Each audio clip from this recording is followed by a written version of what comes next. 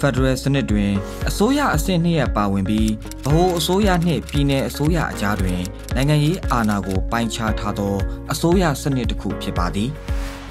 ဗဟိုအစိုးရနှင့်ပြည်내အစိုးရတွေအကြားတွင်ဥပဒေပြုရေးအုပ်ချုပ်ရေးတရားစီရင်ရေးအာဏာတွေခွဲဝေကျင့်သုံးပါသည်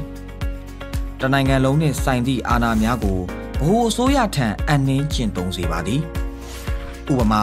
ငွေကြေးစနစ်ထူထောင်ခြင်းငွေဆက်ကူရိုက်နှိပ်ခြင်း နိုင်ငံခြားရေးစသည့်အာဏာမျိုးများဖြစ်ပါသည်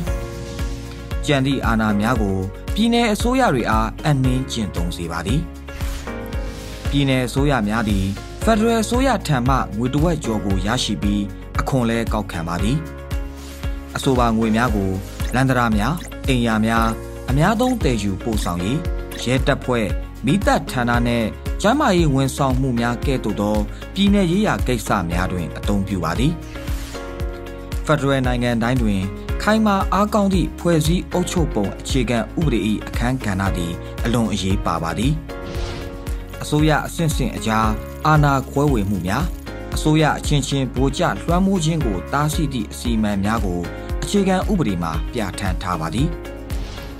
တိုင်းရင်းသားလူမျိုးပေါင်းစုံနေထိုင်သည့်နိုင်ငံတွေနှင့်ပထဝီအနေအထားအလွန်ကြီးမားသည့်နိုင်ငံတွေမှာအုပ်ချုပ်ရေးကိုဘိုးအစိုးရတစ်ခုတည်းက